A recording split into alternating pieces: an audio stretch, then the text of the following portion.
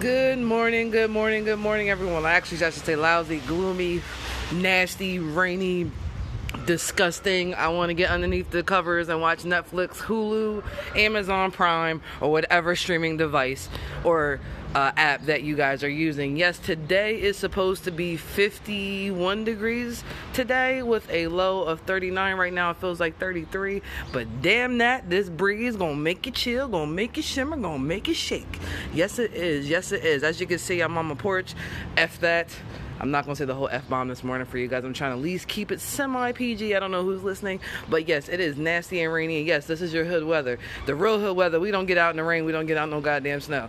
Forget that. You are not putting my ass out there in the thick of things. Good morning, Dana. Good morning, Crystal. Today is nasty, gloomy. There is gonna be no sun in sight. It's gonna be like this all day.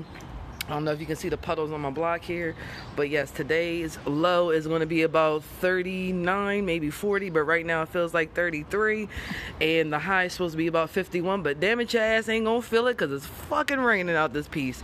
It's supposed to be about 40% chance of rain tomorrow, so on and off, not a steady thing, but uh, but yeah, it is definitely it is definitely not cute outside. This is definitely get your umbrella, get your hoodie, get your hat. Don't try to be cute today. It is too cold, gloomy, and nasty to be cute out in this piece. Again, looking at the street, looking at the block, as you can see.